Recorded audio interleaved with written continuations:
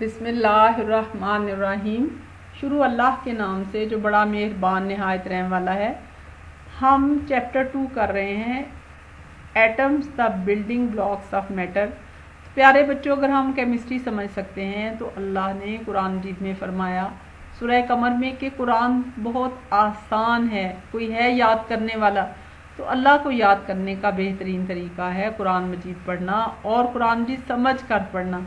तो आज से कुरान मजीद को तर्जमे के साथ पढ़ना शुरू करें ताकि आपको पता चले कितना आसान है कुरान मजीद।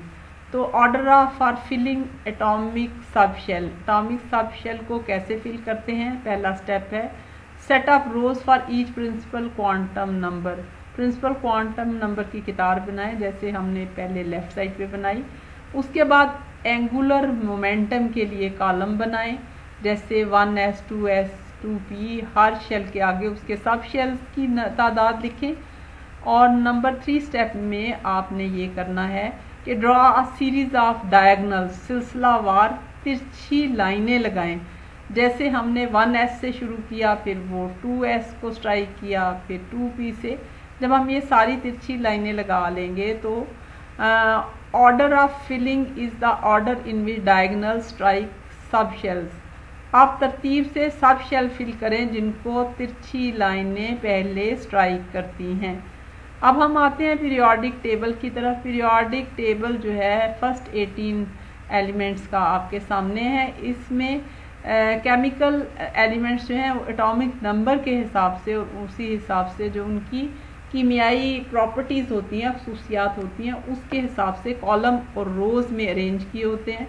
अब आप आराम से आप इन 18 की इलेक्ट्रॉनिक कन्फिग्रेशन लिख सकते हैं। मिसाल के तौर पे पहला एलिमेंट है हाइड्रोजन तो इसमें एक ही इलेक्ट्रॉन पाया जाता है। तो हम इसको वन एस वन लिखेंगे।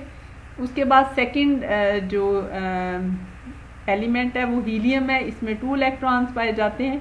हम इसको वन एस टू लिखेंगे। फिर तीसरे इलेक्ट्रॉन में तीसरे नंबर पे जो एलिमेंट है, उसमें तीन इलेक्ट्रॉन है तो वन एस टू और टू एस वन आ जाएगा, और फिर चौथे नंबर पे चार इलेक्ट्रॉन्स हैं तो वन एस टू और टू एस टू आ जाएगा, और फिर जो पाँचवें नंबर पे एलिमेंट है, उसमें one S two two S two और टू पी वन आप देख लें उनके इस तरह से हम जो है वो इलेक्ट्रॉनिक कन्फिग्रेशन लिखते हैं। कार्बन में छः इलेक्ट्रॉन्स हैं तो हम 1s2, 2s2 और 2p2 लिखेंगे। अब क्वेश्चन है what is the maximum number of electrons that can be accommodated in p subshell p subshell में कितने इलेक्ट्रॉन आ सकते हैं? हमने देखा कि p subshell can accommodate six electrons p subshell में सिक्स इलेक्ट्रॉन्स आ सकते हैं। How many sub shells are in the second shell हमने ये देखा था कि सेकेंड शेल में दो सब शेल हैं एस और पी और क्योंकि लेवल वन में वन सब शेल है और लेवल टू में टू सब शेल है। Does an electron first fill two P sub shell and then three S sub shell. पहले वो टू पी क्यों भरता है, फिर थ्री एस में आता है। तो हमने देखा था कि इलेक्ट्रॉन पहले लोअर एनर्जी लेवल फिल करते हैं और उसके बाद हायर एनर्जी लेवल की तरफ़ जाते हैं। तो two p sub shell is lower energy level than three s sub shell. If both K and L shells of an atoms are completely filled what is the total number of electrons present in them? हमने देखा था कि के जो है, उसमें two electrons आते हैं और एल में मैक्सिमम एट इलेक्ट्रॉन्स आ सकते हैं। तो दोनों का एडिशन जो है, वो टेन इलेक्ट्रॉन्स हैं। तो अगर दोनों फिल हों तो टेन इलेक्ट्रॉन्स आते हैं। How many electrons can be accommodated in M shell जो एम शेल है, उसमें कितने इलेक्ट्रॉन्स जो हैं, वो जगह पा सकते हैं। हम पहले एक सिंपल फार्मूला पढ़ चुके हैं कि टू एन टू से हम इलेक्ट्रॉन्स की तादाद मालूम कर सकते हैं। एन जो है, वो प्रिंसिपल क्वांटम नंबर है। अगर हम इस फार्मूले के मुताबिक टू एंड टू लगाएँ तो टू और एम जो है, वो थ्री है। तो ये हमारे पास इसका आंसर आ जाएगा two multiplied by nine is equal to eighteen. M shell accommodate eighteen electrons M shell जो है वो 18 इलेक्ट्रॉन्स को जगह दे सकता है। नेक्स्ट क्वेश्चन है what is the electronic configuration of an hydrogen atom hydrogen atom की इलेक्ट्रॉनिक कन्फिग्रेशन क्या है? हम देख चुके हैं कि इलेक्ट्रॉन एटॉमिक नंबर जो है, वो हाइड्रोजन का वन है। एक इलेक्ट्रॉन है जो वन एस वन में आएगा। What is the atomic number of phosphorus write down the electronic configuration तो हम देखते हैं कि फास्फोरस जो है, उसका एटॉमिक नंबर जो है, वो 15 है। तो इसका मतलब है कि फास्फोरस में 15 इलेक्ट्रॉन्स पाए जाते हैं।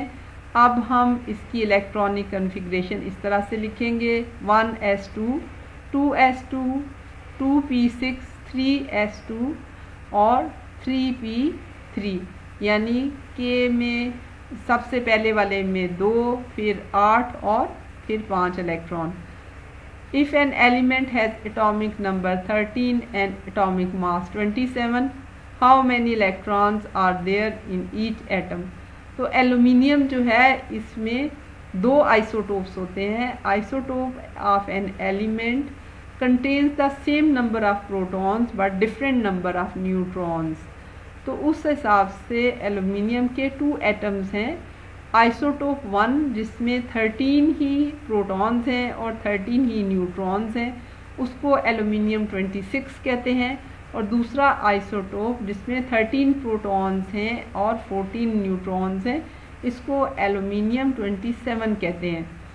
नेक्स्ट क्वेश्चन है how many electrons will be in M shell of of an atom having atomic number fifteen तो हमने देखा कि K and L accommodates 10 electrons, 5 are present in M shell तो पाँच इलेक्ट्रॉन्स एम शेल में होंगे।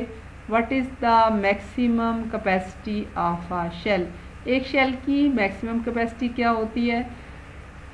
The maximum number of electrons that can occupy a specific energy level can be found using the following formula two n two और uh, उसके हिसाब से maximum electron जो हैं वो वन में टू होते हैं टू एनर्जी लेवल में एट थ्री में एटीन फोर में थर्टी टू उम्मीद है आपको सबक पसंद आया होगा। इस चैनल को सब्सक्राइब करें, इस वीडियो को लाइक और शेयर करें।